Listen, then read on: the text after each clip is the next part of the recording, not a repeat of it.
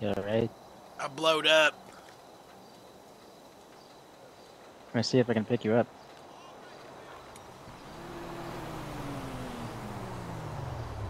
Let's go to the uh, clinic, huh?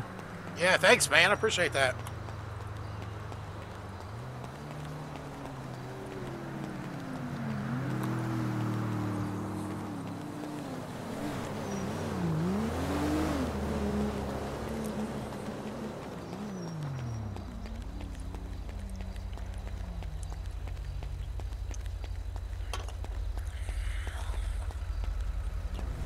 I was like, man, there's no cops clocked in. I might might be a good time to cook some meth. It wasn't.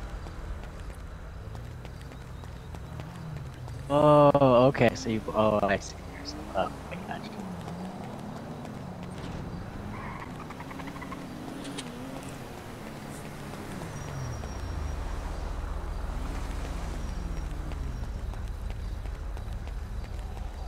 I appreciate the helping hand, though, man. I really do. No, not a problem. I heard the explosion. I had to come see what happened. I thought it was a Ron truck or something. Usually it's a Ron truck.